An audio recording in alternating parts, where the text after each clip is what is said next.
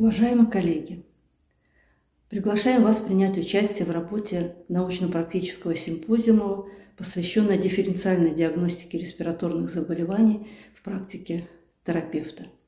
Болезни органов дыхания э, широко встречаются в терапевтической практике, и нередко врачи э, имеют сложности и трудности в первичной верификации диагноза и в дальнейшем при наблюдении этих пациентов.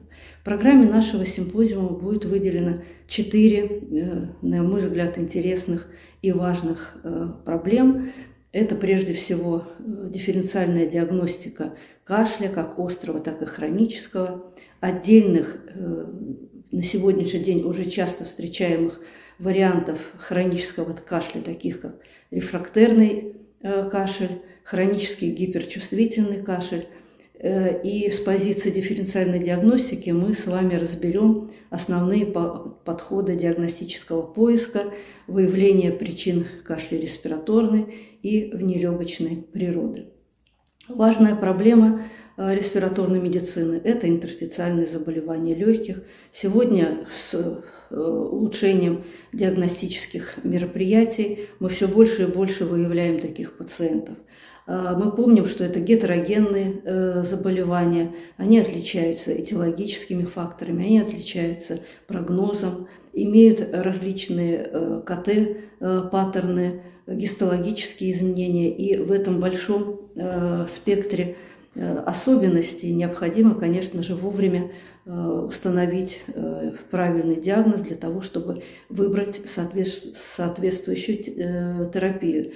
Тем более, что сегодня Э, у нас появились, э, появился новый фенотип интерстициальных заболеваний.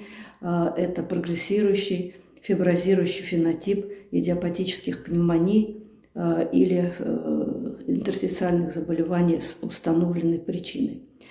Третья большая проблема, которая будет освещена в нашем симпозиуме, это дифференциальная диагностика Э, бронхообструктивного синдрома. Действительно, в клинической практике терапевт встречается с такими заболеваниями, как хроническая обструктивная болезнь легких, бронхиальная астма, и нередко мы должны э, в общем-то, использовать диагностические методы для того, чтобы выявить различия между этими хроническими обструктивными заболеваниями. При этом мы имеем и Э, причины внелегочные развития бронхообструктивного синдрома. И именно вот в этом докладе будут освещены эти дифференциально-диагностические подходы к выявлению э, как бронхообструктивного синдрома, так и заболеваний, которые связаны с этим синдромом. Ну и, конечно же, нельзя было обойти пневмонию, особенно внебольничную пневмонию у людей с сердечно-сосудистой патологией.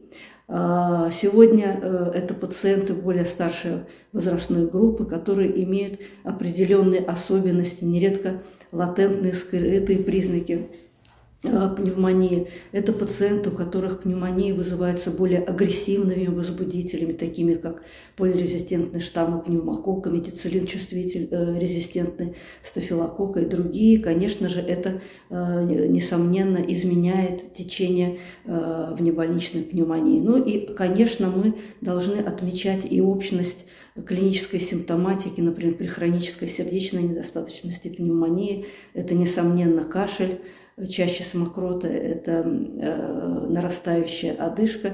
И вот в этом спектре разнообразия, конечно же, э, важно как можно быстрее поставить диагноз небольничной пневмонии, чтобы начать э, эффективную радикацию возбудителя. Надеюсь, что программа нашего симпозиума вам будет интересна и полезна в вашей клинической практике, и мы вас ждем э, на наш симпозиум.